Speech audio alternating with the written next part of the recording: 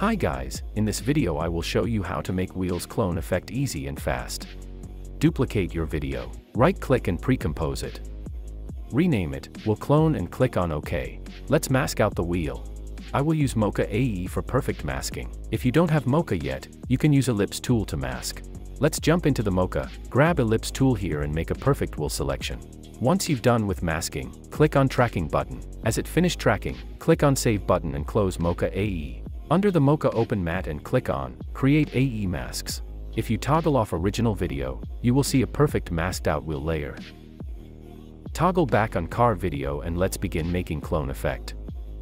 Go to very end of the video and press P on your keyboard. Click on position stopwatch icon to create a keyframe. Then go to very beginning of the video and change position of the wheel. Duplicate will clone layer and press P on your keyboard and change position again.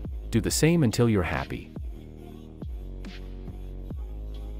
If you play back the video you will see it's animated already, but it looks a bit weird. Let's quick fix it. Move the first keyframe somewhere in the middle. Then go to very beginning of the video and while you've selected all position keyframes, right-click and select Reset.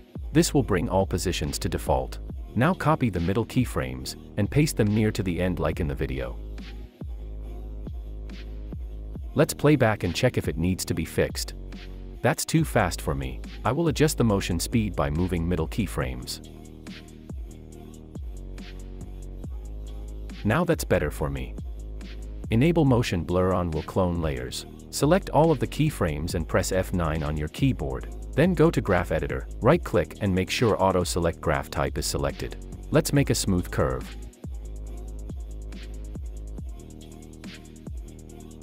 I don't enjoy the start of cloning so I will make it faster at the beginning.